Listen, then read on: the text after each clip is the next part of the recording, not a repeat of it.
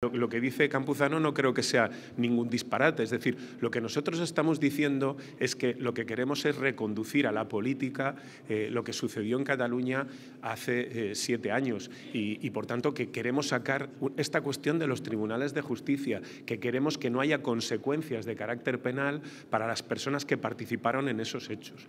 Eso es lo que estamos diciendo y eso lo estamos intentando a través de una ley de amnistía que, por cierto, evitaría todo lo que supone para el sistema judicial español proseguir con todo esto. Es que me sorprende que haya incluso quien diga en el Partido Popular que no, vale, pues que se sometan a juicio tal y luego los indultamos. Pues hombre, ahorrémosle el trabajo a la justicia, que muy sobrada de recursos tampoco está. Es decir, si lo que vamos a hacer es someter a las personas siete años después a un procedimiento judicial para acabar indultándolas, pues ahorrémonos ese esfuerzo y ahorrémosle a la justicia también el esfuerzo. En fin, es que no tiene mucho sentido. Por eso la ley de amnistía eh, es es, la solución en este momento eh, más necesaria y más conveniente y más útil, porque, entre otras cosas, lo que va a hacer es evitar un peregrinaje judicial que lleve al final a, un indulto. No tiene sentido. Si tenemos todos claro el diagnóstico, hagamos la, ley de amnistía y evitemos el tener que someter a esas personas a juicio otra vez.